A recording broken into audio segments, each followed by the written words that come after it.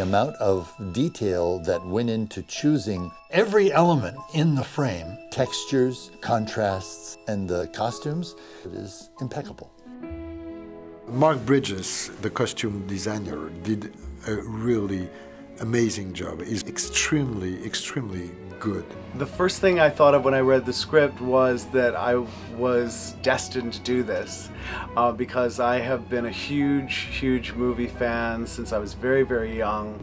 Would do book reports in school about silent movies, really a crazy movie fanatic. Working with Jean was very interesting.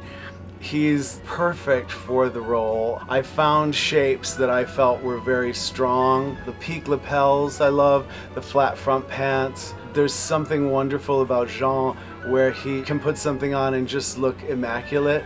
So it helps me.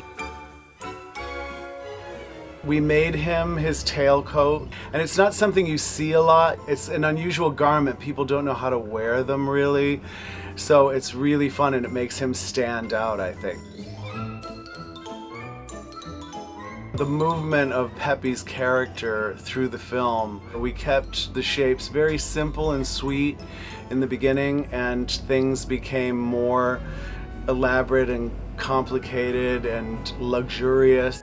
Very high contrast white dress with the black fur and a great silhouette. So we're constantly communicating where they are in their lives. When an actor is at his height of his fame, uh, say we meet George in the beginning, he's very high contrast with textures. And then things at the end, when he goes back into his burnt suit, things like that that just propel the story on.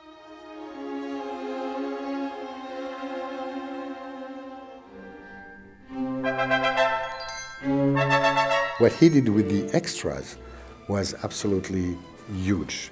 And every single extra was shootable for me, which is really unusual. When you have, for example, 50 extras, you can really shoot like 20 of them. Here, every extra was uh, shootable. Filming in black and white for me has uh, definitely been a challenge in many ways because it's not a medium that I am used to. Um, I've come to take a photograph of a color chart in black and white and see what value it becomes and then I will make my color choice.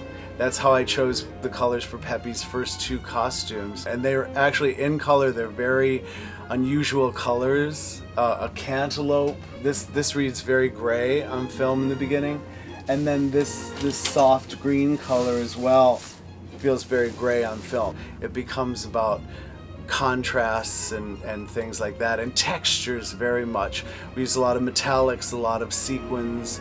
You know, anything that has a shine helps pick up in black and white as well. And the most important thing, the taste. He has a great taste. I mean, the dresses, the suits, the details, the hats, everything was amazing. He did an amazing job, really.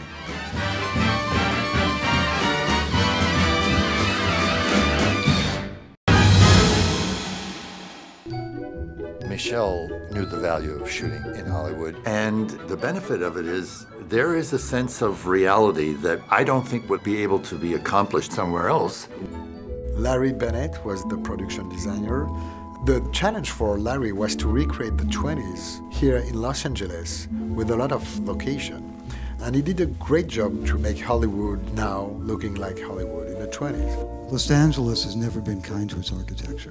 So while we were able to make use of the Orpheum Theater and Los Angeles Theater, some really beautiful gems and some beautiful houses around town and bits and pieces of neighborhoods, it's only because of the backlots at Warner Brothers and Paramount that we're able to do a lot of the street work. It was like going to uh, Mack Sennett's studio the first studio in Hollywood. I went there and I found a lot of stuff in their basement. I was like rummaging through it. and I came back and I, I showed Larry and he goes, God, you know, all these old backings and ladders and prop boxes and uh, grip stands, old grip stands and cuckolorises, and it was it, it was just it was just magical to be able to do stuff like that and go go to these old places and pull out stuff that hadn't been used in years.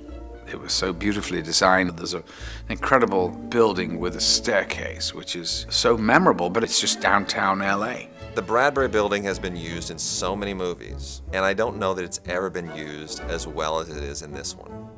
It belongs to the period. It, it takes you back. And you know what? That shot can't take place anywhere else. You couldn't build that as a set. Billy Wilder said once, if you shoot a, a very complex scene, you better have a very simple uh, background. If you shoot a very simple situation, you better have a very complex background. And uh, so we try to, to, to respect that. The amount of detail that went into choosing every element in the frame, textures, contrasts, the sets and the costumes, it is impeccable.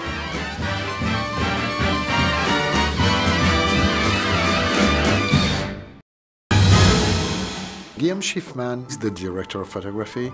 It's my third movie with him, so we are very close collaborator. Maybe for this.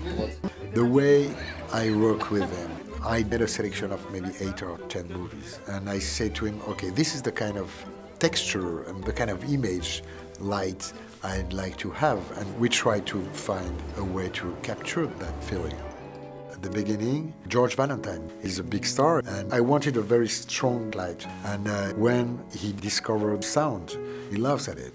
And it's a bad decision, we all know that. And uh, so at the ending, he moves and he goes in the darkness, because that's what he does.